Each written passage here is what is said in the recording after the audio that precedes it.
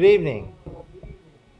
I'm Paul Theerman. I'm director of the library here at the New York Academy of Medicine, and I welcome you to this session on sickness and the city. We have two very distinguished gentlemen with us this evening to talk about very contrasting stories. As you can see, one's going to talk about 1790s Philadelphia, Philadelphia, and the other one is going to be Arequipa in Peru. So um, we're going to welcome Billy Smith and Michael Levy.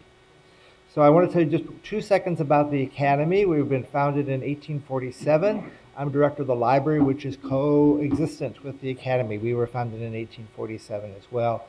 And we are now a major medical historical library because we no longer collect contemporary medical literature, but we have, oh, about half a million books of the older stuff. So, um, and this includes uh, a very extensive and wonderful rare book library of over 32,000 volumes.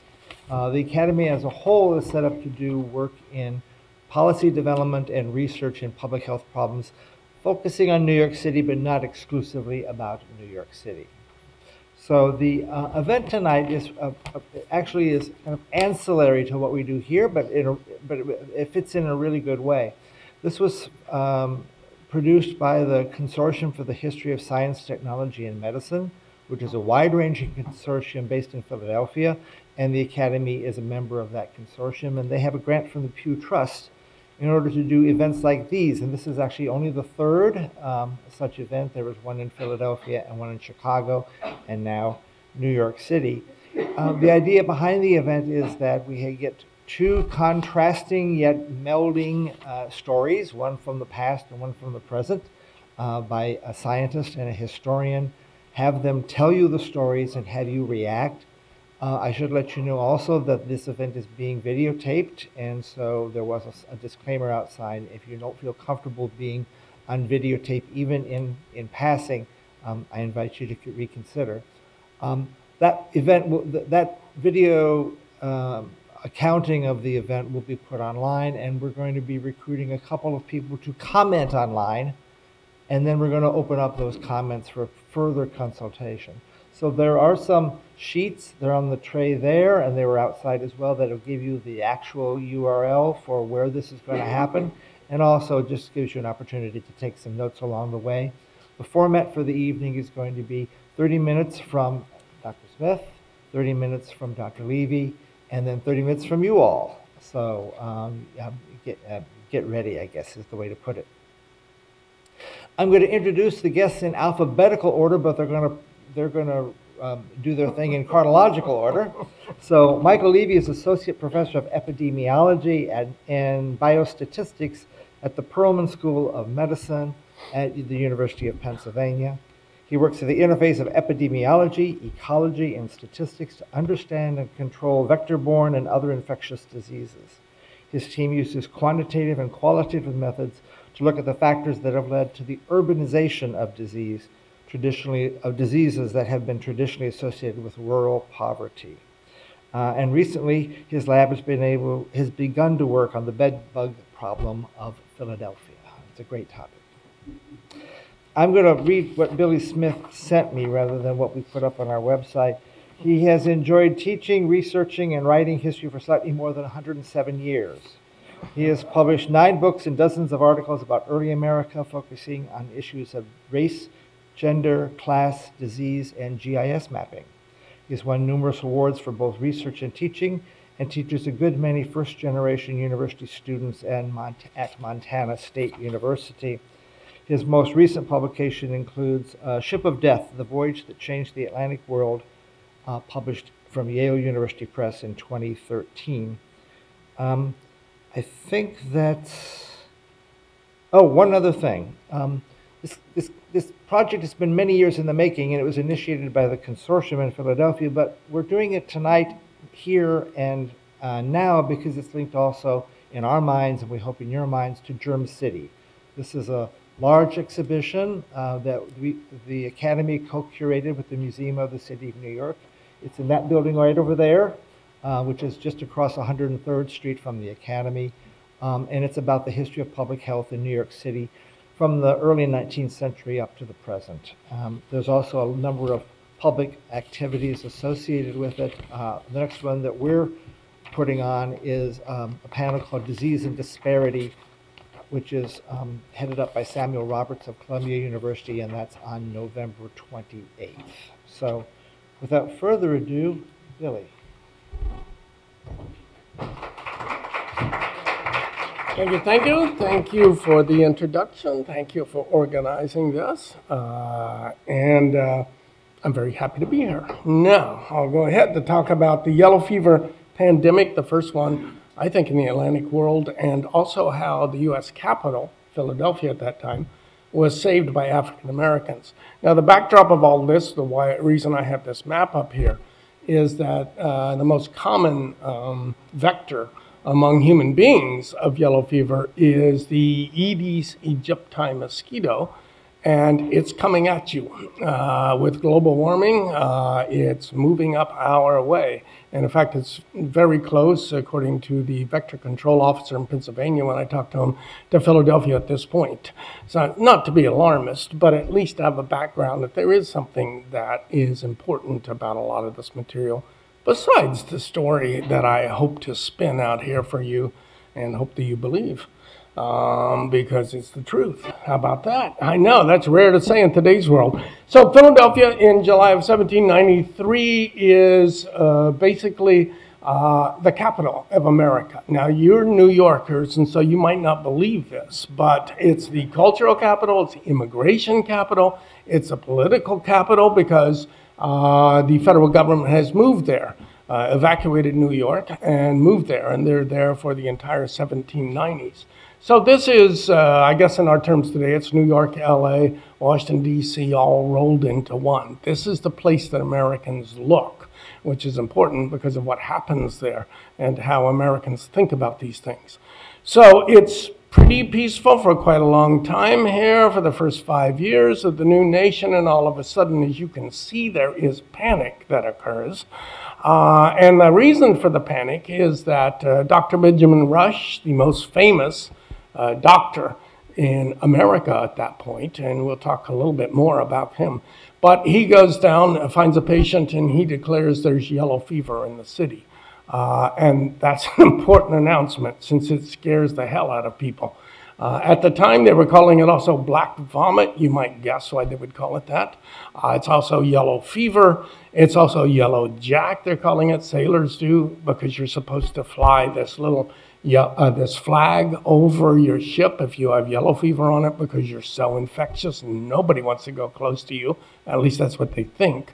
Uh, it's not contagious, it's only through mosquitoes, but that's what they think in any case. Uh, and it's also called uh, Bulama fever. And I will get to the island of Bolama off of Africa and where I think all of this originally started. Uh, in a few minutes, but people at that point too are also referring to it as that. Um, okay, so what happens when yellow fever breaks out when Dr. Rush says it's there? Uh, well, the first thing that happens is that actually George Washington runs away. Uh, now, he's one of the most, uh, you know, uh, heroic men in America. So this is pretty incredible. You make the decision to leave early, and it really is dispiriting to a lot of people. George Washington's leaving? Uh, now, Thomas Jefferson also runs away. Um, now, well, I won't go too much more into him, but um, and basically, um, almost the entire federal government leaves, shuts down. I know we can't believe that in our own time the federal government was shut down. Um, but the federal government just closes. Hardly anybody is left. A few clerks are left, basically, uh, for the federal government. Same is true of the city government, too. The mayor runs away. The guardians of the poor, who help the poor out, as you might guess, also run away.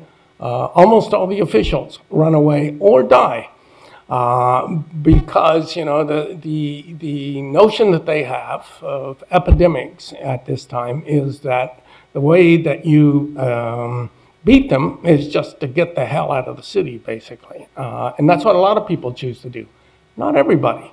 Uh, and we will talk about them, and especially the African American community, who uh, makes a different decision uh, to stay and help people. Now, yellow fever is not a good disease to die from. Uh, when you're stung by this mosquito, about four or five days later, you'll get nauseous, uh, you'll get a high fever. Uh, you really need a lot of water because you're so thirsty. Uh, and then uh, you might get a little better for a while. And often people are fooled because for one day you're feeling better and you're thinking, okay, everything's all right. And then the worst hits. Uh, you start to throw up black vomit because you're bleeding uh, internally. Uh, and your uh, eyes start to turn yellow, skin starts to jaundice, and then you die. Uh, so it's just a hideous disease to die from. In Philadelphia, 5,000 people die here, about 11, 10% of the inhabitants, um, which is a higher number if you discount the people who stayed in the city, basically. If we're to compare it to today and New York City, uh, it's probably like, I don't know what the population here is, but probably like if a million people died in three months, to give you just some kind of concept of what this would mean uh, and uh, some kind of comparison. It shocks Americans. Is a new nation. Here's our capital. And in three months, uh, you know, 5,000 people died. There's also all kind of stories that are true about the inhumane treatment of lots of people wives leading their husbands husbands leading their kids and uh, just because they are so frightened of what this is they think it is contagious a lot of them some of them think it's not, a, and that's part of the medical debate here. Um, Dr. Benjamin Rush, who is the most famous doctor in America at this point, uh, the signer of the Declaration of Independence, he supports women's education. I mean, he does the kind of things we would want him to do in a 21st century. I mean, he's, you know, I guess we would call him a liberal, if not a radical, in some of these senses. Um, and he thinks he's discovered to, the cure to yellow fever. Uh, and um, mostly that cure means uh, bleeding people and purging them, giving them some terrible things that make them both vomit and um, also have incredible gas and dysentery and things of that sort. He also gives these pills, by the way, to Lewis and Clark when they come by to ask him, because he is so prominent, what should we take with us? And he gives these kind of pills with him, and they write about how just every one of them is gaseous as they're going across the country, basically. But he's, uh, he differs a lot from the College of Physicians. And the College of Physicians, again, is the institution uh, in America at this point. He's a member of it. Um, they have vicious debates with one another. And uh, he separates from them. He just says, No, I've got the cure, uh, and you don't. And um, the College of Physicians basically um, says what we do today with somebody with yellow fever that is rest and fluids. Uh, they're kind of right on the mark here. Um, he's not, uh, although he never backs off from his position. But it's also debated widely in the newspapers, so people are just incredibly confused. It's like, what should we do? Uh, both to avoid getting yellow fever, but also, uh, you know, how should we treat it? Now, a lot of the folk remedies, which have been around since the plague years, uh, is that carry tarred rope around, chew garlic, disinfect with vinegar, ring bells, don't ring bells. They stop people from ringing bells because they're so loud. They stop people from shooting cannon down the street because it starts to get too uh, much like havoc. They're thinking that, uh, a lot of them anyway, that it's coming from the miasma, that it's coming from the air somehow. So you have to clean the air, but again, it's such a debatable issue at the time that nobody really knows, not even the doctors here for certain, uh, and certainly not, uh, you know, the regular public. Part of this uh, time, too, and this relates to our own time for certain, is that uh, medicine becomes incredibly politicized, not just in Philadelphia, but also, you know, in the rest of America. And how could it not in some ways at this time? because the argument is is this imported in ships from somewhere? Is it local origins? Uh, is it contagious or is it not? Um, should we stay in the city? Should we not? Uh, and they're saying this in physical terms, whereas other people, again, like African Americans, are thinking about it in moral terms uh, and take a different kind of position. One of the medical students, by the way, um, for those of you who are uh, doctors in here, uh, is trying to prove it's not contagious. And so what he does is eat somebody's black vomit um, to, uh, yes, demonstrate that. He doesn't get it. He says, hey, it's not contagious. nobody pays any attention to him because the debates are just so harsh. And, uh, you know, it would have been great if they would have taken his word for this, and he certainly put himself through a lot here. Alexander Hamilton, by the way, also, you know, he's Secretary of the Treasury. He catches yellow fever. Uh, and he refuses to take the treatment of Dr. Rush. Dr. Rush is a Republican, he's a Federalist. Uh, and it becomes known as the Republican cure, as opposed to the Federalist cure, which is from the French West Indies, uh, who had a lot of yellow fever, and they say, oh, no, just. Uh, uh, wine and bed rest, basically. When George Washington hear, he hears that uh, Hamilton gets it, he sends him a bottle of wine.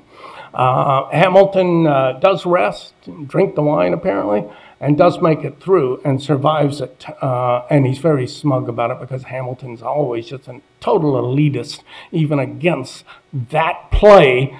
And I'm just pointing at somebody who loves that uh, play. Uh, but, all right, so who does step forward to save the city? Um, it's the first free African American community, actually, in America. Uh, during the American Revolution, lots of African Americans claimed their own freedom uh, through a variety of ways. They run away during the chaos of the war. They bargain with their masters in a variety of ways to shorten their terms, to actually make it like an indentured servitude. They buy their way out of slavery. And so what happens there is a lot of them go to Philadelphia. This is a city that know, is known uh, for its Quaker uh, kind of moderation towards slavery and support of anti slavery positions. In fact, they're some of the first ones who are anti slavery. So a lot of them go there, not just for that reason, but also to congregate with other African Americans. You know, if you want to have a chance of ever getting married, if you want to have a chance of uh, having a family, things of that sort, you need other African Americans around in this society because the society is just not going to allow you to do anything else. Uh, and also, clearly, you share a lot with other African Americans. Absalom Jones and Richard Allen are two of the most famous black founding fathers that most people have never heard of um, because uh, that's not usually taught in most schools. Um, you know, it's George Washington, Thomas Jefferson, but uh, they, they are organizing this community. They organized two churches there, for one thing, but they're also organizing the community. And when this yellow fever epidemic breaks out, uh, they step forward and say, This is our, uh, they're deeply religious, they're both Christian, and they say, This is our moral responsibility to help out our neighbors, which is pretty amazing in some ways since we've got the most despised people in America here in some ways because of their color of their skin, stepping forward and saying, We should do something to help other people in the city. Now, there are a number of white people too who are debating this issue. A lot of the Quakers, you can see in their diaries, they're going, Should I run away? It's probably the safest thing to do. Should I stay? Because I have a commitment to my neighbors and to other people in this city. Uh, and, uh, you know, the Quakers divide probably half and half on that question.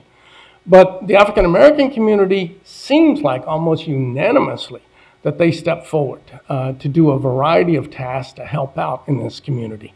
Oh, this is just a map I've put together recently using some GIS about where the first free African American community was in the uh, United States. Uh, and I'm very pleased that uh, the new African American Museum in um, Smithsonian in DC um, is displaying this uh, about talking about the first uh, free African American community.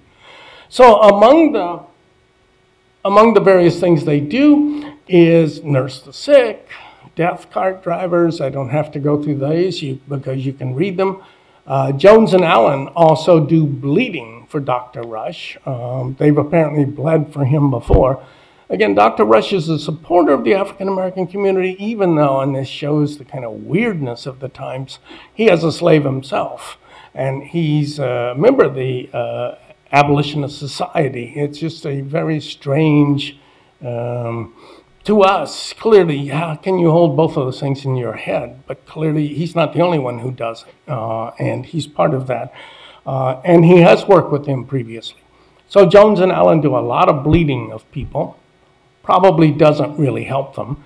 And in fact, at some point, uh, Dr. Rush miscalculates on how much blood is in the human body, uh, and he recommends bleeding you more than the blood you've got. So if, you know, you might kind of survive the yellow fever, ship, you might just die from being bled. That's not to blame Jones and Allen uh, by any means, because he's doing most of the bleeding, basically. But as you can see also from this comment from Absalom Jones, it's nobody wants to go near anybody that's sick or dead because you don't know if you're going to be able to, if you're going to catch this or not. There's also a woman, Anne Seville. Uh, this is not a picture of her. We just don't have many pictures of African American women at the time or men.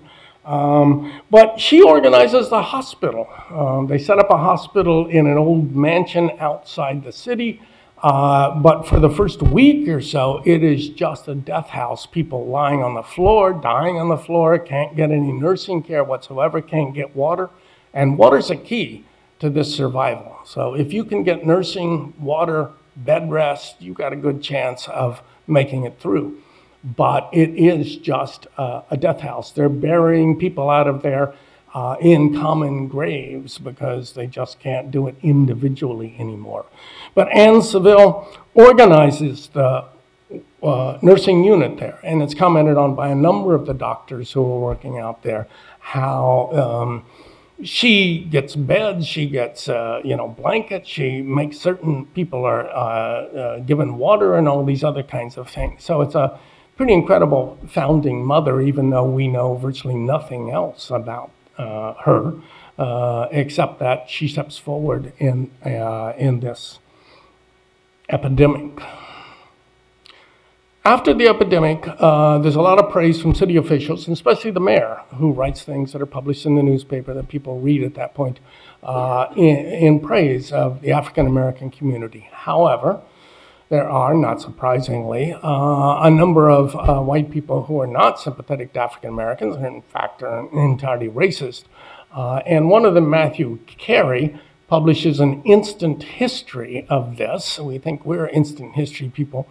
Um, within a month or so after this uh, epidemic is over, you know, and the reason it ends, by the way, as you would guess, is the mosquitoes freeze in November in Philadelphia. Um, and he criticizes them. He's saying, no, you charge too much for nursing. No, you shouldn't have been doing this. You probably, some African Americans stole from people, blah, blah, blah. Now, in reality, back in the old days of the plague, this was always the case in places like London. It wasn't just African Americans at that point, but just uh, basically anybody who cared for the poor usually received a lot of criticism. But that's just putting it in the context of this kind of racism of accusing African Americans of having acted in an in uh, a non-honorable way in all of this. Um, Jones and Allen, even though they're praised actually in his instant history, but he's going after the African American community.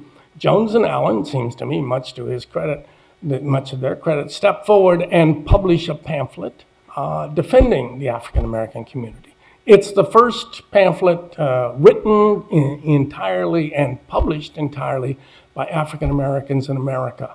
And it is pretty remarkable in terms of A, defending the African American community, telling exactly the kind of things that they were doing, and then B, they tack on at the end a condemnation of slavery. And again, it's one of the first statements, probably the first statement we have from African Americans who are publicly saying uh, slavery is wrong. Now, you know, that's not surprising to us, but in the 18th century, this is uh, quite a challenge uh, to the white hierarchy. Uh, but it is uh, a remarkable, this kind of yellow fever epidemic thing, uh, that's remarkable to encourage them to do that. Now, they go ahead and keep organizing the societies in Philadelphia, self-help societies, schools, churches, and really sets the foundation for a free, a free black community in Philadelphia that then is also going to become very active in the abolitionist movement in the 19th century and also a place where runaway slaves can get some help uh, as they're heading north in Philadelphia, and they know of this.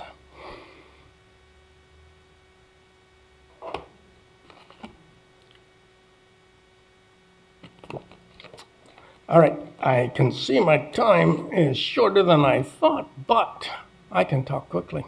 No, I will uh, sketch out the other things. I think my contribution to this is tracking, uh, besides talking about the African American community, is tracking the ship, I believe, uh, that carried this uh, yellow fever around the world, from Africa to the West Indies to Philadelphia, uh, and then there's ramifications after that. It's, um, it's a colony that a lot of idealistic white British people um, are thinking we can prove uh, that slavery is not economical by setting up a colony in West Africa and hiring black people. So we can prove it to white people. Now, it's, you know, it's an idealistic kind of thing. They're incredibly naive. They know nothing about Africa. Uh, none of them ever been to Africa. So they're working on this kind of idealism, which I hesitate to uh, criticize, especially in our own day. Uh, but they say we're going to, you know, take three ships down, set up uh, a, uh, a colony on the island of Bolama, and uh, we're going to show the world, the Western world, that actually this is the way to go, and that's why we should end slavery. And again, one has to admire them, but at the same time, uh, think about how, how naive they are. So the Hankey is one of three ships they take with them, and the Hankey is the one we're going to follow a bit, uh, which goes to West Africa. Uh, they don't even quite know where they're going, but they end up uh, at Bolama. Uh, and um, encounter uh, the Bijago who are living there. The Bijago have been dealing with Europeans for about 300 years, uh, and they were the, one of the first ones who were attacked by Europeans to capture people to take back into slavery. So they're very savvy. They know how to deal with Europeans, uh, both in negotiating skills and also militarily if necessary. Well, the, the idealistic colonies uh, move into Bolama uh, and um, decide, well, no, they don't decide, sorry. They move on to Bolama, but don't contact the local peoples to try and buy the island, even though they said they were going to do this. Well, the Bijago attack them, kill a number of them. And about half of them get so scared they go back to London immediately and say, This isn't going to work, is it? Um, but even more decimating after they buy Bolama twice, by the way, because they, they were out negotiated so much. Um, but uh, the most decimating things for them are um, these uh, mosquitoes who are stinging them with all kinds of fevers. I think it was the 1960s that I read a study of if you grow up in West Africa, at least at that point, you're going to get at least 100 stings uh, from infected mosquitoes. Not every mosquito is infected, of course, but you're going to catch things like malaria and dengue and yellow fever. Uh, the point of uh, the point of ours right now, uh, or at least our topic here. And that's what happens. Uh, these people die uh, like flies killed by mosquitoes, basically. Um, what's going on there is there's the yellow fever uh, the way in which yellow fever works is there's a forest version, as it's called, or sylvatic, I think is the name, uh, in which these Aedes aegypti mosquitoes pass among simians, among monkeys, uh, yellow fever. Doesn't often kill the monkeys, but they do harbor the yellow fever for other mosquitoes. Now, what happens uh, when the colonists arrive is Philip Beaver, who's the head of the colonists, uh, and others um, uh, start to cut down all these trees, and monkeys come down with them. They eat the monkeys, they think they're great. But while you're bringing down the canopy, you're also bringing down an amazing number of mosquitoes. Aedes africanus will sting humans, but it's the Aedes aegypti who then move it uh, among the humans here. It's coming out of uh, basically this tropical area. Um, about half of them die. Um, and they're getting so desperate that they're going to get out of there. Um, so they get on a ship. Most of their sailors are dead. They don't know how to sail the boat very well, uh, showing how inept everything it was on this uh, on this voyage. Basically, they run into a uh, another warship that says, "Hey, the French are at war with us now. You can't go back that way. You got to go to the West Indies." So they catch the uh, trade winds to the West Indies, as most of these slave ships do, unless they're going to Brazil, and um, take back with them uh, the mosquitoes in the water barrels there. And it's one of the ways that mosquitoes that are infected uh, get over to the New World. And indeed, it is slavery itself that introduces yellow fever into the New World, if you call it that, uh, North and South America, uh, because of bringing over slave ships. But in this case, it's an anti slavery group. There's some irony to it uh, and bitterness to it. But we wouldn't have had an anti slavery ship if we didn't have slavery, uh, basically. So they land in Grenada, spread it all through the harbor there. There's a hundred ships there. Uh, and um, I won't go into detail about those accounts. But then they sail to Philadelphia. Uh, the master of this ship still hopes that he's going to be able to make some money out of this enterprise. So he goes up to Philadelphia to sell some of his goods. Uh, when he arrives in Philadelphia, when the ship arrives in Philadelphia, within four days we have huge yellow fever epidemics starting to appear, yellow fever. These red lines are places that I've been able to map of the uh, harshest of the yellow fever uh, epidemic, the deaths, so that between 25 and two, uh, 25% and two thirds of the people die in those areas. So if you could avoid these areas and live on this side of the city, then you got a good chance of surviving it. Uh, but of course, the uh, not of course, but the people who are living along here mostly are lower class people uh, and uh, not doctors and African Americans, but lower class people. So it takes a big toll on impoverished people here.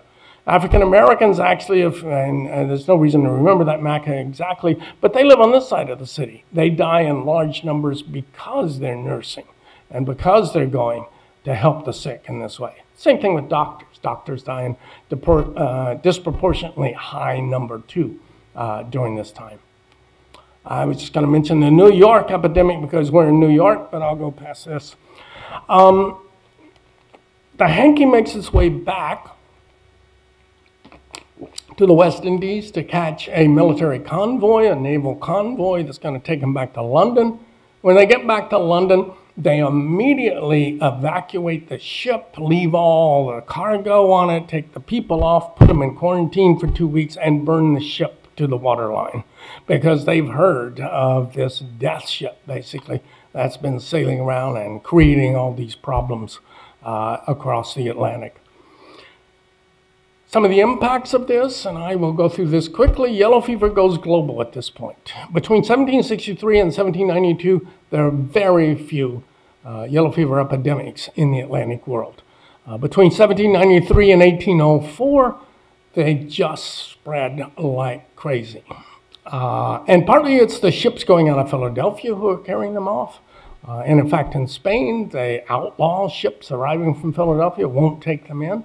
Uh, but you can see visually here how much yellow fever really, for the next decade, just affects the Atlantic world. Let me skip past this. The Bolama fever also for Europeans, uh, what they really is driven home to them is that um, this is the white man's graveyard. If you go to West Africa, you're going to die. Uh, and it's one of the reasons for a long time that Europeans don't invade Africa until tropical medicine comes along. Uh, so that's a lesson that Europeans learn out of this anyway, is no invading of these places. The Haiti Revolution is also occurring just about the same time. Saint Domingue, that's going to become Haiti, uh, and uh, yellow fever there uh, is also uh, deterring troops, especially from Britain, who just die like flies coming into this area, uh, as the African Americans are going to know. Napoleon, when he loses Haiti, partly because of yellow fever, says, well, we don't need Louisiana anymore. The only reason I wanted Louisiana is to feed uh, the slaves in Haiti. So he sells off Louisiana to us, sort of changing international relations and also where these empires going too. The lessons for future epidemics, just to, although most historians don't want to really draw lessons, well, let me go back. Um, seems to me is a debate about proper government response is very heated at this time. Lots of people don't want to be quarantined. The debate about quarantine of incoming ships, uh, and especially merchants, are leading the call to no, don't quarantine the ships coming in uh, because we're going to lose money. Uh, medicine and cures are politicized, as we know in our own time. It certainly is then. Mass exodus from cities, I believe we can always expect in lots of these kind of epidemics. Now, if it is contagious, that's really going to be terrible because uh, it's going to be uh, carrying it out into the countryside as well. And finally, uh, poverty pockets are hit the hardest by this disease, which might differentiate it a little bit from uh, Michael's areas that he's going to be talking. Finally, thank you very much, human beings, and uh, talk to you later.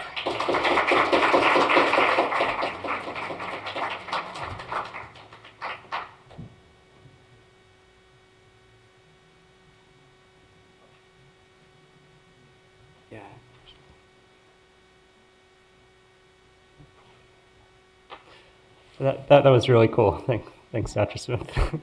and, and thanks, Paul, and, and all the organizers for bringing me here today to, uh, to talk about bugs in the city, vector borne Chagas disease in Arequipa, Peru. So, Carlos Chagas discovered the disease that now bears his name before he saw a single human case. He was working in a, a small town of Lassance in, in Minas Gerais, where he'd been sent to investigate a malaria outbreak among railway workers. And these, these railway workers were connecting Rio to the Amazon basin. This was 1909, the height of the rubber boom. And Chagas goes to this town, he sets up a lab in an abandoned railway car, and he becomes familiar with the, the local blood sucking insect. And he writes a, a couple years later in his journal that once we we heard of the blood sucking habit of this insect and its proliferation in human dwelling places, we became very interested in ascertaining if it by chance were, as I immediately supposed, a transmitter of parasite of man or another vertebrate. So he sees this bug and he immediately thinks it's going to be transmitting something.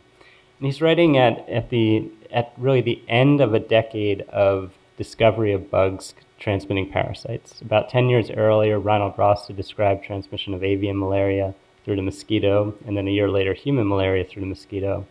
Leishmania through the, the sandfly and African trypanosomiasis through the tsetse fly had all been described in the last 10 years. So it was very much in the, in the news, bugs transmitting parasites. But it's really lucky that Chagas thought to look in the bug. It's really easy to see the parasite inside the vector. It's really, really hard to see it in a human case. So he sees this, this parasite inside a bug, and he sends the bugs to his, his mentor, Oswaldo Cruz, and Cruz exposes a number of animals to the bugs and succeeds in infecting a marmoset. Marmosets probably aren't that important in Chagas disease, but for, for a number of reasons he used a marmoset. And again, it was probably luck because the marmosets probably ate the bugs because they're insectivores and became infected in, in that way. Back in Lassance, Chagas goes looking for the parasite anywhere he can, finds it finally in the blood of a cat and then in the blood of a little girl named Berenice. And this is not a picture of Berenice, but that is Carlos Chagas there. So today, millions of people are infected with the parasite that causes Chagas disease. I use this estimate from uh, Chuck Norris et al. Because if I put up an estimate from the WHO or the CDC, you might, you might think that we had some idea of how many people have Chagas disease. We really have no idea. I, think Dr. Norris may be overestimating slightly. I, I, would say probably five to six million people are infected, but I, I'm really not going to argue with them. But um, there is an acute phase of the disease after infection, but like many things, it has flu-like symptoms and it's rarely diagnosed. Most of the five to six million people who have the parasite or have the indeterminate form of the disease, they have no signs or symptoms of their infection, and the only way they would ever know they're infected is if they got a blood test. Some 20 to percent, 20 to 30 percent of those people will develop determinate forms, which are very difficult to treat and often fatal. So this is the, the bug, which we call in, Peru the chirimacha. And I brought one because, of course, I always bring a bug.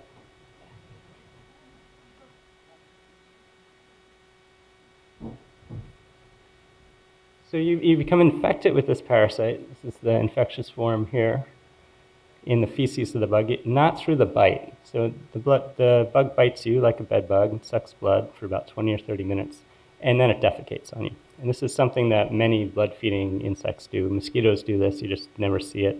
But these bugs are produce a, a lot of feces. On the wall here, all these black and white streaks are, are bug poop. And when the bugs are infected, that poop is teeming with parasites. Control of, the, of this bug is, is one of the greatest hits of public health for the last 20 or 30 years.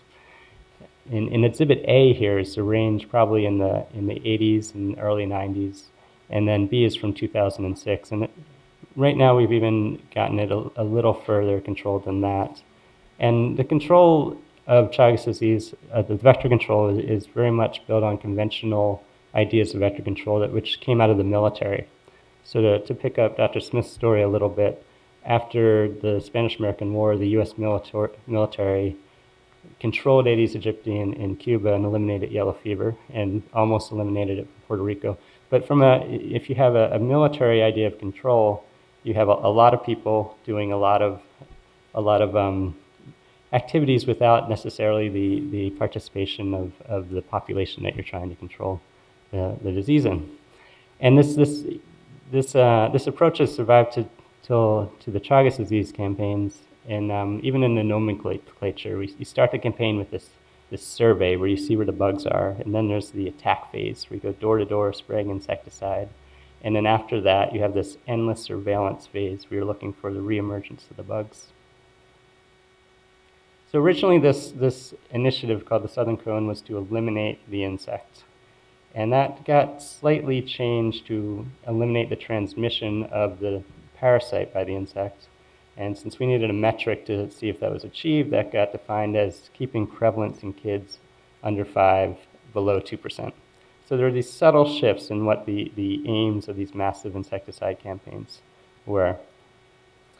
So based on that definition, transmission has been disrupted in Uruguay, Chile, Brazil, and, and very recently in Paraguay, and not disrupted in the, the Chaco region, which, which is this region, region here. And in pretty much all these areas, Chagas was a rural disease. And then this little blip here is Arequipa, where the disease became very much an urban problem. So here's the city. There's a population rapidly approaching 1 million people. And everything started in Arequipa in 2001 when an infant died of acute Chagas disease. And when you see a case of acute Chagas disease, that usually means there's another thousand cases that you're not seeing. So the Ministry of Health, with um, funding from the Canadian government, started a, door-to-door insecticide campaign in this district of Hunter, where the where the kid died. And I'll show up here the uh, infested houses in red.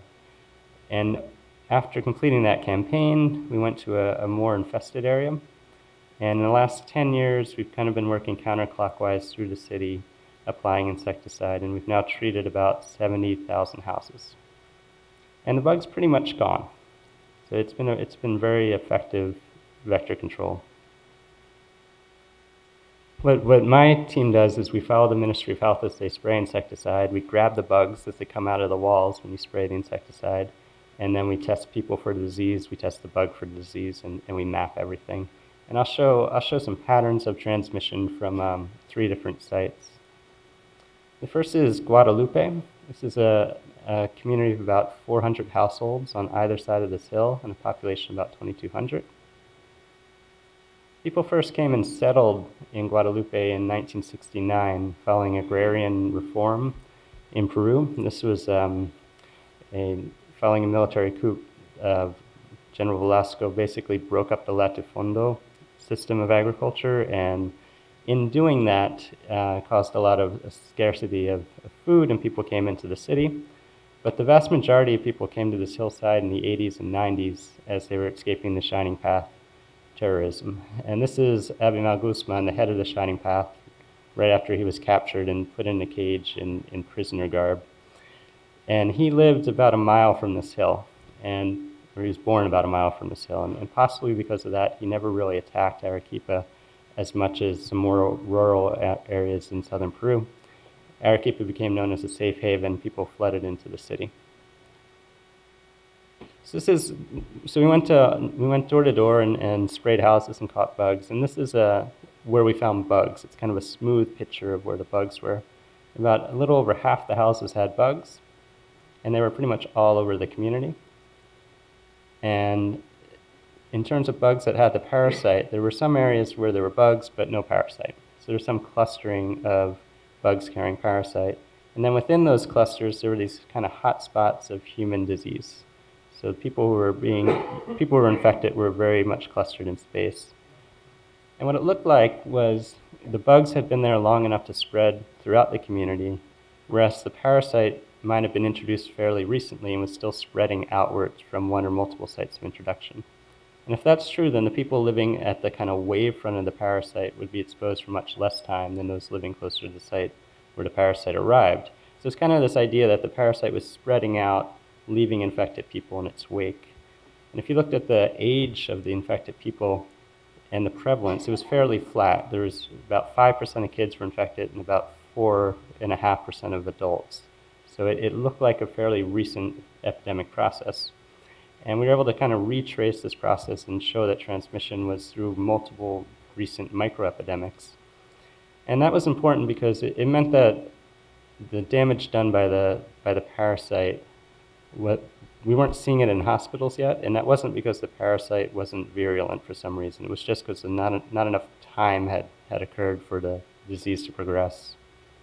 And it also was important to, note that the, it took a while for this epidemic to get going. It took about 10 years to climb up to 1% infection and then once it started going, like most epidemics, it went really quickly. But this is a very long time course for the epidemic. It's nothing like yellow fever. So running summary in the peri-urban area, the bugs were everywhere. The parasite was still spreading through the bug population, and humans were recently infected, and about 5% of, of people were infected in this area. So our original grant was to compare urban Chagas disease to rural Chagas disease. So we finished up our work in, in this urban area and we went looking for a, a little pueblo out of a telenovela. We were looking for this very traditional rural area to, to work in. And it doesn't exist anymore in southern Peru. Most of the rural areas are fairly condensed population within agricultural settings. So these fields here might be alfalfa or onion or other things that are grown in the region and they're often owned by large corporations. And the people who work in these fields don't, don't live on them. They live in these fairly dense settlements right around the fields. So this is a, a community about the same size as Guadalupe and pretty much the same density of housing.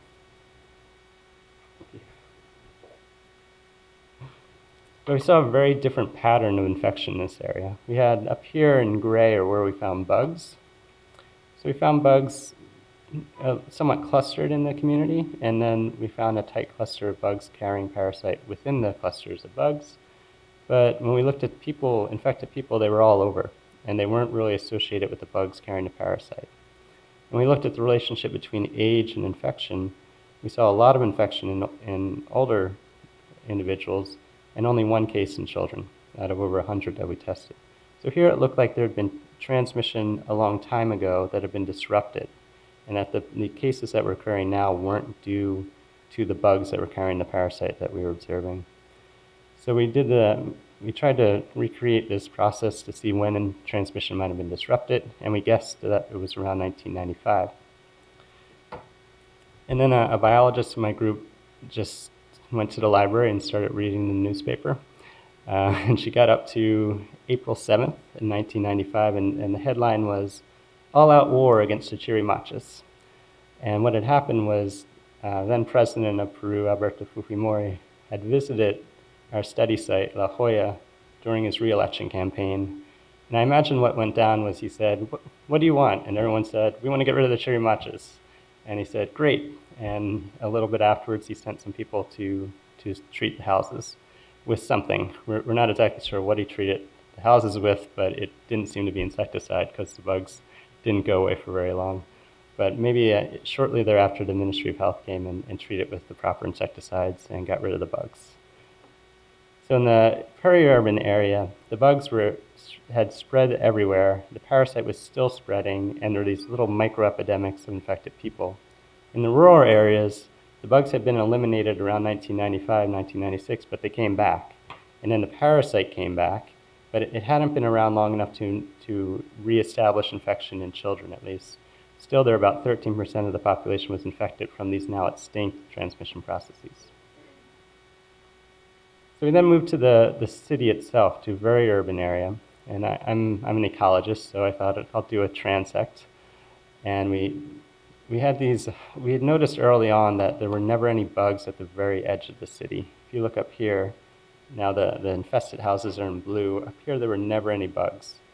And we had two initial hypotheses. The first was that the vectors were still moving out through the city and just hadn't reached the edge. And the second was the vectors might be hitting some environmental limit and just couldn't go that, uh, any further. And I'm going to argue now that it was, it was really a third hypothesis that, that the process of urbanization of the city is constraining the distribution of the bugs.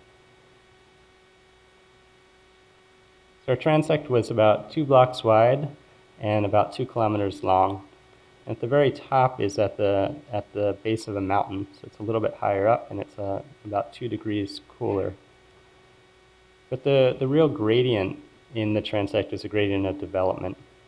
At the bottom, you can see there's kind of this grid pattern. This is a traditional part of the city. It had been around for at least 80 years, and it was fairly middle class.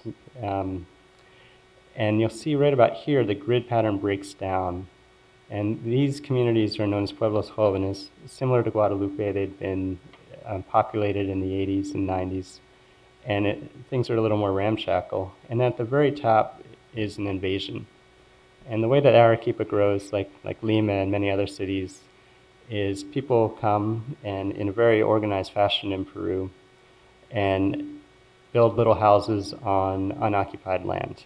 So then the, the way you, we often imagine this happening is a group of people get together and they carry estera, which is a woven wall, up into a, into a part of the city where there's no housing, set up a little house and fly the Peruvian flag and wait.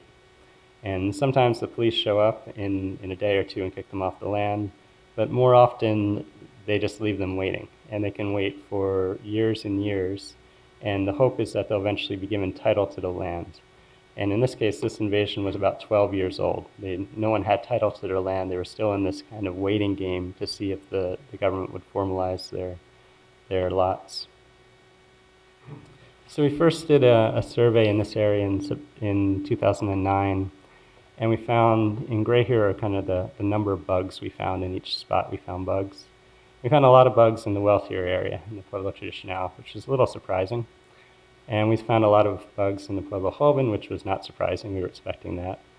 And then there were no bugs at the very top at the invasion, which is what, what we kind of expected. And then um, a long game of chicken between the Canadian government and the Pan American Health Organization and the Peruvian Ministry of Health came to a head. So the Canadian government had financed the treatment of the first district, and then they said, all right, we, we financed this. Now we're leaving, and Peru, you have to keep the campaign going. And Peru said, we don't have the funds to keep the campaign going. And the Canadian government said, okay, well, we'll do one more district. And same thing happened. And that went on for about five years. And finally, they just left. The Pan American Health Organization and, and the, the foreign funders just pulled out completely and, and fairly abruptly. And we, we didn't have insecticide for two years. So we, um, we repeated the, the study and went back in March and May of 2010 and still didn't have insecticide. So we did it one more time. And finally, the district came up with the money to, to spray the area. And what, what was interesting, what we got to see by repeating this transect was that the, the bug populations kind of grew fairly well at the top of the transect, but they never crossed that invisible line into the invasion area. And when we finally got insecticide back and treated the area, we didn't treat the invasion. So there were no bugs there. So we wanted to, to test the hypothesis that the bug was still moving outward through the city. So we, we asked everyone when they first saw these bugs in their house, and no one, no one could answer that question. It's just not something that people remember. So we got some help from some sociologists in Lima and um, used a technique called event history calendars. And these work by you, basically you ask people about things they care about and create a, a timeline of, of, events that, that are important to, to them in their lives. So we'd often ask, you know, when was your first child born? When was your ch- second child born, and some big events like the earthquakes in, in Arequipa. And then we'd use that timeline to jog people's memory. So we'd say, when your first child was born, do you remember being worried about the chirimachas getting into their cradle? No, well, what about when your second child was born? Do you remember worrying about, about your second child being bitten? And by doing this, we could get a kind of a range of, peop- of when people first noticed these bugs in their houses. And what we could see is that the bugs had clearly been in the traditional part of the city for a long time. And they've been in the Pueblo Joven for a long time. And then we see this kind of this nice trend where it looks like the bugs have been moving outward through the city. But the, if you look at the axes here, this trend goes from about 1980 on, on to, to 2000, and then the x-axis is in meters. So the bugs have moved about three or 400 meters in 20 years. So that, that's not, it doesn't take these bugs 20 years to move three or 400 meters. It would probably take them less than a day. So the bugs, the bugs are moving outward through the city, but they're not moving at bug speed. Something is constraining their ability to, to move outwards through the city. In terms of, of whether they're hitting an environmental limit, I mentioned before we saw a very robust growth of the bug populations right at the top of the of the Pueblo Joven, um, which you wouldn't expect if they were hitting an environmental limit. If it was too cold for them, we wouldn't expect them to grow. So we don't think it was it was some environmental factor. The idea is it's really it's the process of urbanization itself that's constraining the bugs. And there's a there's a very a very powerful argument for formalization in, of of informal properties, and and a lot of that argument comes from a um, Peruvian economist Hernando de Soto, who who writes that formalization of property brings numerous social, economic, and health benefits to residents, and increased tax revenue to local and regional governments. Because once you give people title to their land, then you can tax them. So it's, it's a win-win in some sense. The residents can get water, electricity, and sewage, and then you can tax them. And I should add, you can also kind of win their allegiance in terms of voting. If you're the mayor who formalizes the property, you can kind of, you now have a lot more voters in your district. So it's, it's maybe a triple win. The problem, though, is if, you, if that's done without reasonable and enforcing, enforceable zoning code, it leads to a great increase in stuff. Once people have title to their land, they tend to bring in domestic animals, they tend to build more rooms in their houses. They tend to use better materials like brick and sillar, which is a local block that, that people use, and have more kids. And so now all of a sudden you have a lot more hosts for the bugs, and you also have a lot more habitat for them to live in. So the bricks, especially, Arequipa is a seismic zone, so they use those, those bricks that have the little holes in them. I don't know if you've seen these, but every hole is uh, precisely the diameter of, of a chirimacha. And these bricks kind of bake during the day, just very, a lot of solar radiation. So the bricks get nice and toasty, and then at night, the bugs can just crawl into these holes and have a, have a nice refuge. So you get a lot more, and I should also add, you, you buy bricks by the thousand in Peru. You can't, it's just impossible to buy fewer than a thousand bricks, and they come in a big truck, and they kind of dump the, the pile of bricks in front of your door. And then you can use however many you need to build the room or whatever you're using. And say you use you know, 800 bricks and you have 200 left over, what better than to make a little guinea pig pen out of them? So pretty much every house that has bricks has piles of extra bricks on the roof. no one throws them away, and there's no secondary market for bricks, so they tend to be used around animals. So again, you're bringing the, the homes of the chirimachas right next to, the, to their blood meal. So what happens to transmission of the parasite when you run out of insecticide for two years?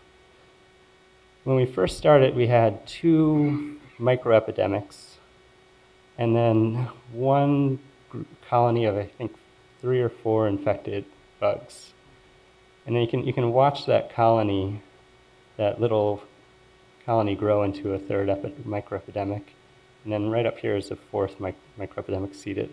But this was clearly a very, very recent introduction of the parasite. And we only had about, we had 14 out of a 1,000 people infected along this transect. And some of them were infected clearly elsewhere. Some of them were living up in areas where there wasn't even any parasite in the area.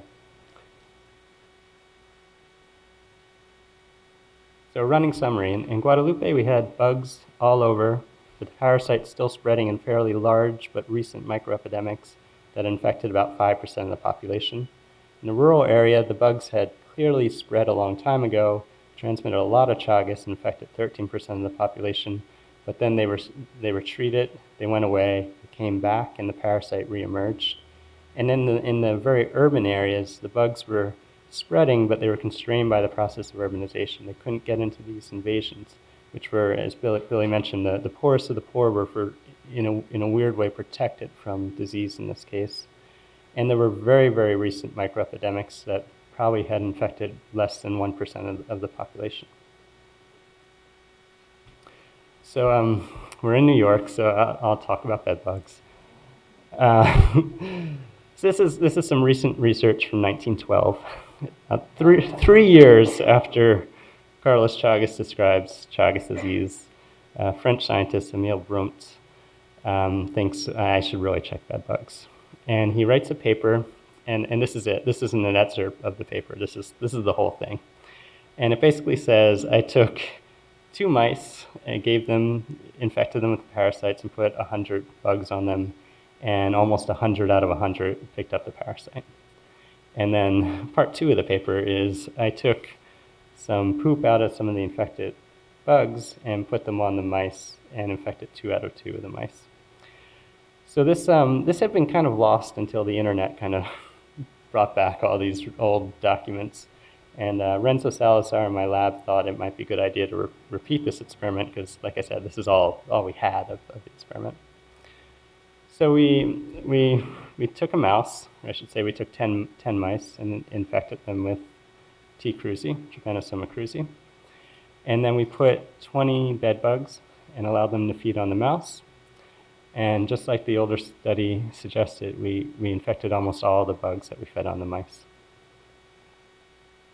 So we knew that bed bugs could pick up the parasite from a mouse. We then did the, the second part, and we took, we had this room that we filled with these big aquaria. And in each aquarium, we put one uninfected mouse with 20 bugs that we'd previously fed on an infected mouse. So we had infectious, but infected bugs and uninfected mouse.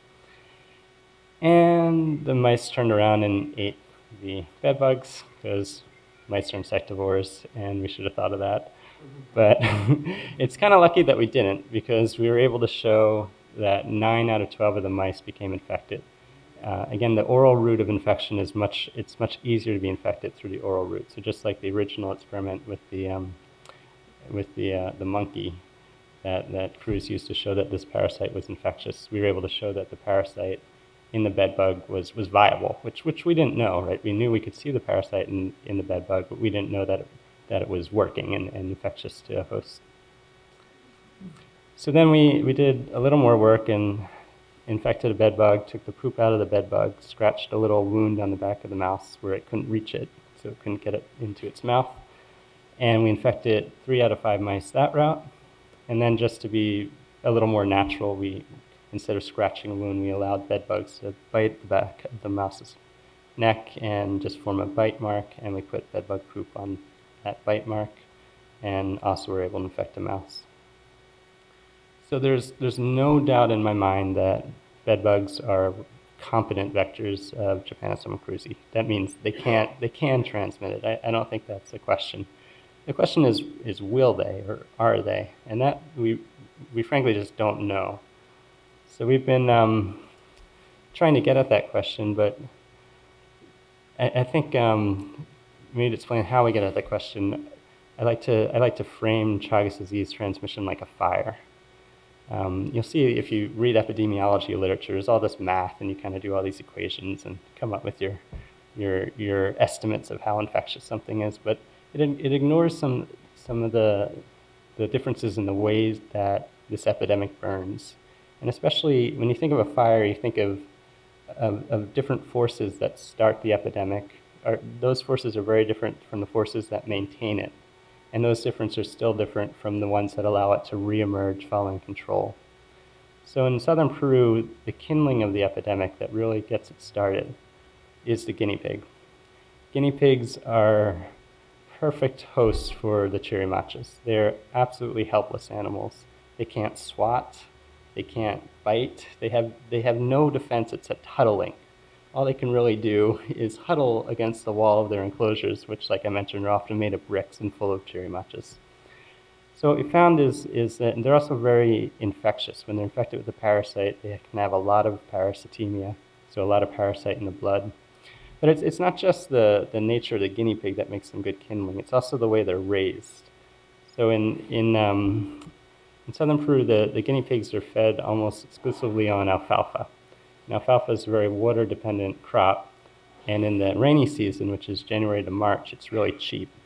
So people raise a lot of guinea pigs, and then the, the chirimachas comes, and you have a lot of guinea pigs, a lot of chirimachas around a, a lot of guinea pigs. And then in the dry season, the price of alfalfa triples. And that's when the guinea pig festivals start. So being a guinea pig in June in Peru is kind of like being a turkey right about now in the United States. It's not, it's not a good thing to be. And so you have people either eat their guinea pigs or have these big cookouts, which are a lot of fun. And so you have a, a large guinea pig population, all of a sudden becoming a small guinea pig population. And you have a lot of bugs that we're feeding on a lot of guinea pigs, and now they're feeding on a very few guinea pigs. And that allows the parasite to just propel itself through the bug population. So you can just have this big flare up of, of parasite in the vector populations. That doesn't last though. So this is a, a simulation of, of parasites moving through a bug population with guinea pig uh, bottlenecks in guinea pig populations. But it dies out. At some point, you just don't have an infectious guinea pig in that bottleneck.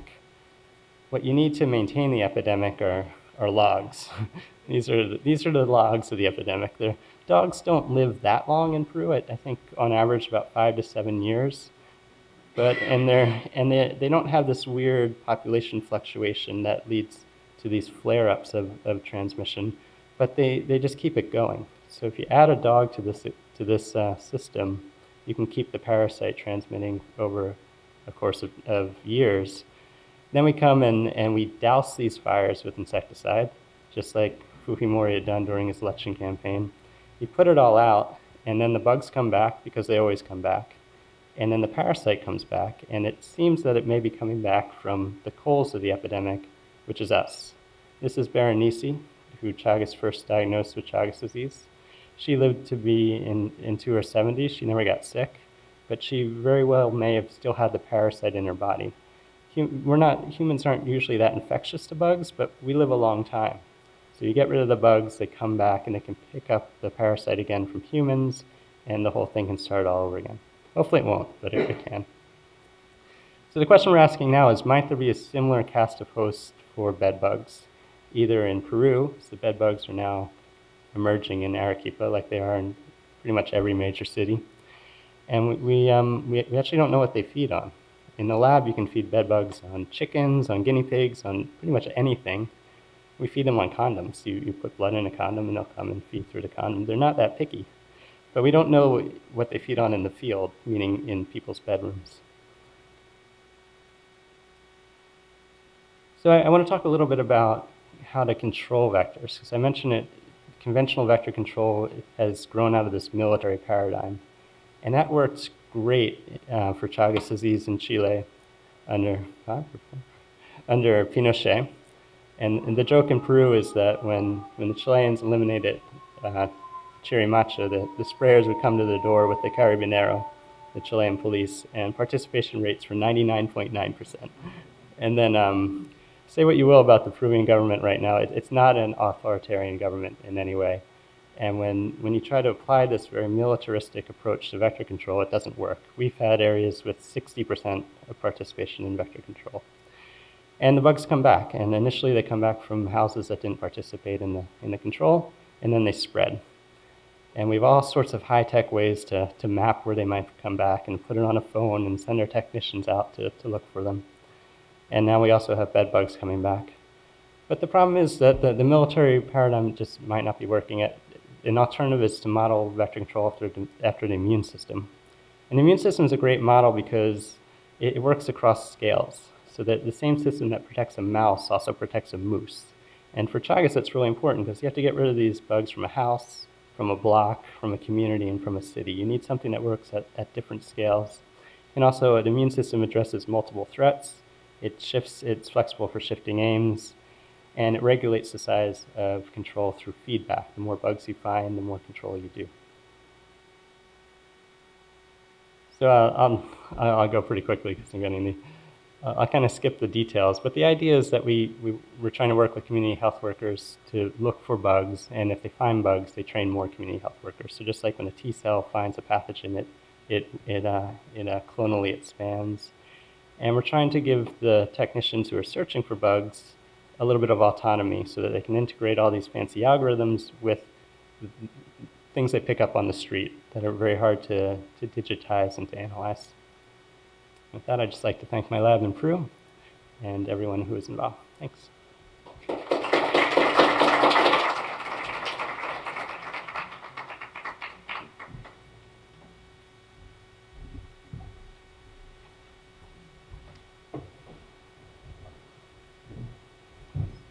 So I'm going to turn it over to you all and these two fine speakers. Um, and um, if you have questions for them, direct it to them.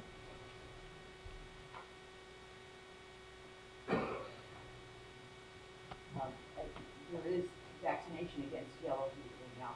Yes, sir. Go to areas where it's thin, you protect yourself with the Chagas, bugs, or others. So how do your workers, how do the people who deal with it keep themselves safe and how do you monitor whether you're Mm-hmm. infected? Um, it's, it's actually, the bugs will only bite you at night, which is nice. So when, so, so, you know, when I when I rent where our, our house and our student house, you know, I checked it really well. um, but yeah, there's just not the, the risk is, is much more when you're checking the bug.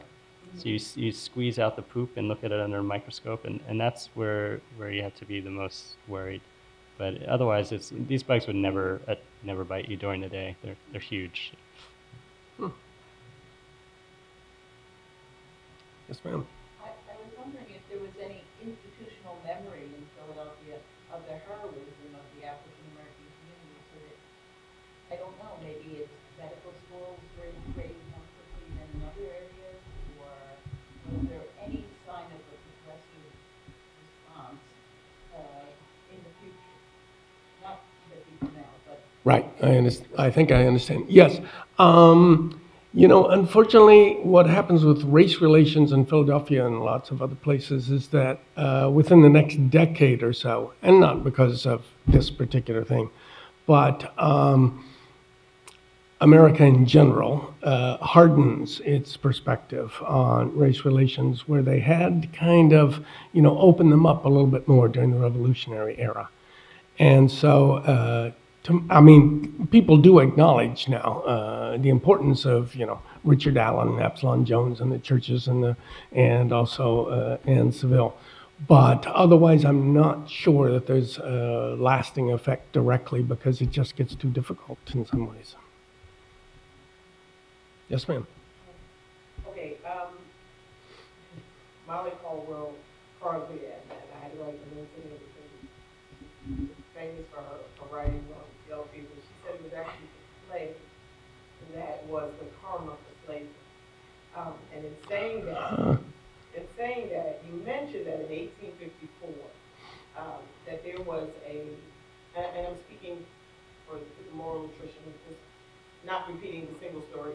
1854, 40 percent of the population was affected, uh, African Americans were affected in the, uh, local areas, the urban areas, especially in the East Coast. But only three percent of them perished Because of the yellow fever. Now, in speaking of them, and I, I'm an obstetrician, so I speak for the women and the next Yeah. generation. Um, I noticed that the rate for women that were pregnant was even lower. Now, let me ask you this. Is it because they were wet nurses and they gave, so the, the, the colostrum and the, Right. was the, the cure-all, and that's one of the reasons why their rates were low? Or was it something genetic that you found in the research that was more, that lessened the prone, um, saturation? I understand. Um, what I can say is this that uh, it does hit the population of 20 to 40 year olds the hardest. And An error or? at that era, and I can measure that. Um, and I've just heard recent talks about, you know, the uh, the flu epidemic of 1918, where they're able to identify exactly that, and it also hits the 20 to 40 year olds. They can do that biologically and identify that. Unfortunately, I, I just can't do that with the data that I have there. So whether or not there's a difference between, uh, you know, if you're pregnant or not, I, again, my data just doesn't, won't reveal it. Yes. All right, well, thank you. There's more, well, I can say this too. There are more men who die than women. But again, is it a social factor because more men are going down to work on the docks and things of that sort uh, than are women who are going down and working on the docks? Uh, but so I can't disaggregate is there a specific biological part or is it social, perhaps environmental too, as to what you're exposed or not to? I- I- And I saw a correlation, the reason I'm asking is because I see a Mhm. correlation in the wet nurses reducing the, the uh, yellow fever in the children that were born. Mm, So. I'm noticing that if that is the cure, then that would make sense for the pregnant woman to not. To also do that, yes, Exactly. Yeah. was wanting to- I've never heard that, but that's a great point, though, yeah. That's what I did for my PhD. Oh, okay, yes, right. Yes, but I do know that, yes, passing along some immunity at least for, what, two years or something, a year and a half? 24, 48 months, um, Yes.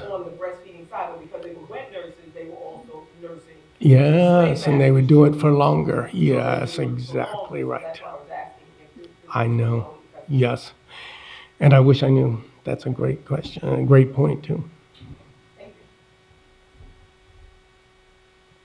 I have a question about your theory about the urbanization for transmission. Wouldn't you expect as those new urban populations age, they become potentially affected by the traditional ones? I mean, it's obviously going to take time, but wouldn't you expect in the distribution going to see how the devices be the same? Yeah, exactly, and, and that's the worry. You know, as we're we're controlling the disease, but n- not as fast as, as the city's growing and developing. So the, the, the number of susceptible households is, is increasing quicker than we can treat existing households. And the I should say the idea was to eliminate the insect from the city as a whole, and so you know that that's I, I think that carpet was pulled out from under us because everything was designed with that in mind. We sprayed every house twice, which you'd never do if you were just trying to stop the transmission.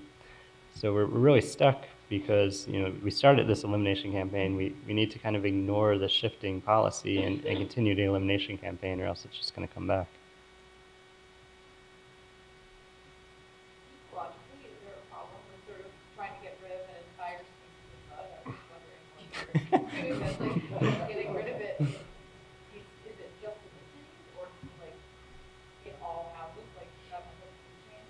I- I'm, I'm fine with it in this case, and, and I'll tell you why. um, you know, it's a great question, and, and you know, we, we think about this a lot. But in, in this case, it's an invasive bug. It, it was originally from the Chaco region of, of Bolivia, especially, and, and part of, of northern Argentina. And just like Aedes aegypti, it was brought and brought by humans into Peru and other areas. So, so I won't miss it. I mean, I, I personally will because it's a really cool bug, but I, and, and I don't think it'll have a broader effect on the ecosystem. Spraying every house with deltamethrin twice, that's a much bigger worry. Well, I wonder that about the Aedes aegypti too. I mean, because you probably know more about it than I do, that there's efforts to sterilize one of the genders and therefore make them disappear, basically. And, uh, you know, nobody likes mosquitoes, but surely they have an environmental function uh, that's important.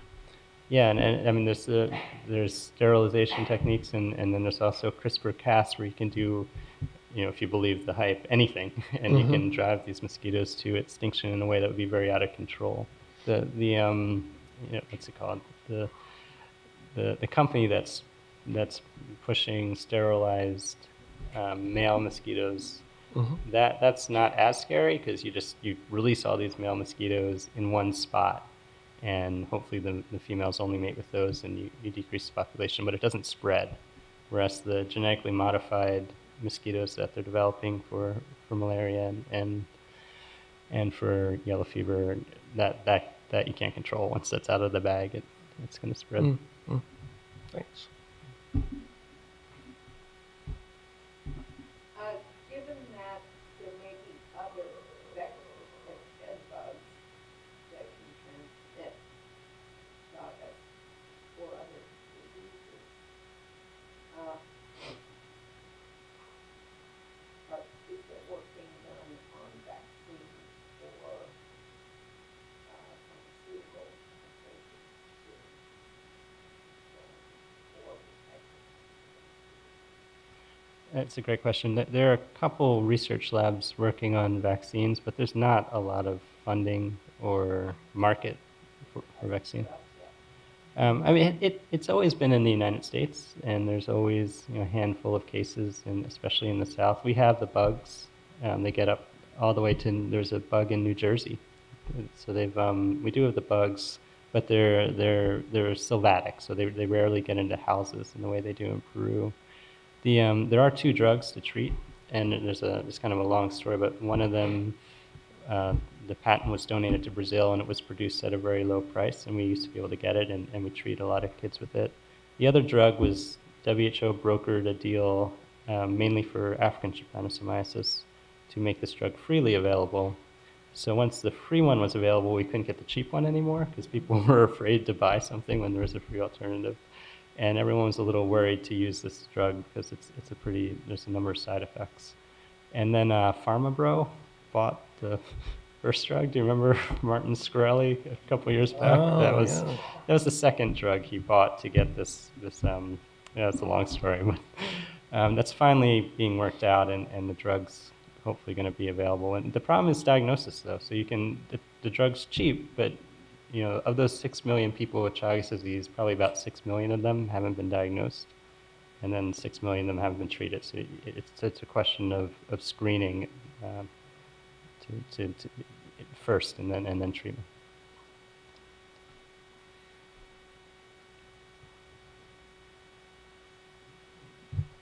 I had one question. You both told great stories.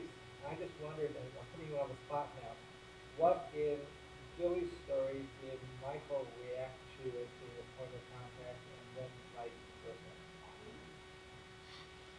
Well, we were actually having a drink before we came here, talking a little bit about that. Maybe I was having a drink, he was drinking uh, tea. That's why he was more uh, cogent than I was.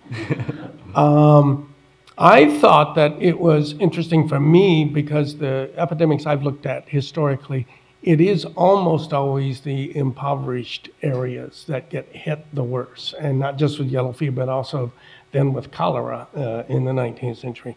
And so to find, though, that his circumstances are different, and so it, it's different uh, uh, in terms of how it works out on the ground today in different places. Yeah, and I, uh, for my part, I, I really like the mapping, and you can see the, the epidemic spread from the from the wharf. And I'm from Philly, so I especially like to. I, I know those streets. Um, Yeah, And I'm interested. I'm interested to look at the you know the timing to you know if you can really. I know there are a lot of ships coming in with with the mosquitoes, and it, it almost seems to me the mosquitoes must have been there first, just because it's. And I don't know if, again, I can't tell That's if putting you on that's the case. Yeah, exactly. No, that's quite all right. Um, but yes, the, I mean, and as you know, again, about the Aedes aegypti, they'll only fly 100 yards in their lifetime. So if they get congregated down at the, uh, the wharf there in the dock, that that's why it's, uh, really stays with that pretty much, even though it spreads to other areas. Whether it was there before or not, I'm not sure. I'm sure there are other um, ships that come in from the West Indies that bring uh, also, you know, bring yellow fever. So I'm not claiming this is the only one, but it it it does get there about five days before it breaks out. So it's pretty suspicious, and they're pointing to it and going, "Hey, look at that!"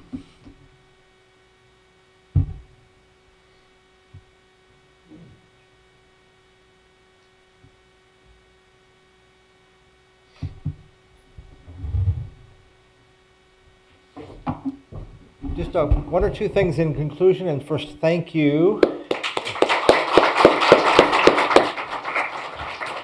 I did want to add that there, you talked about Absalom Jones being one of the lesser-known founding fathers. Well, he's, in some cases, he's been resurrected. In fact, the Cathedral of St. John the Divine has an annual Absalom Jones celebration right around his birthday. I believe he was the first African-American Episcopal clergyman in this right. country, and uh, so they've taken note of that. And Richard Allen, I believe, in the AME Church. so. Right, yeah. Um, and uh, this will be online. There's a URL on the sheet that you can see on the way out. It'll be a few weeks yet, but, but we encourage you to log back in, make some more comments if you'd like. And um, thank you all for coming. Good job, man.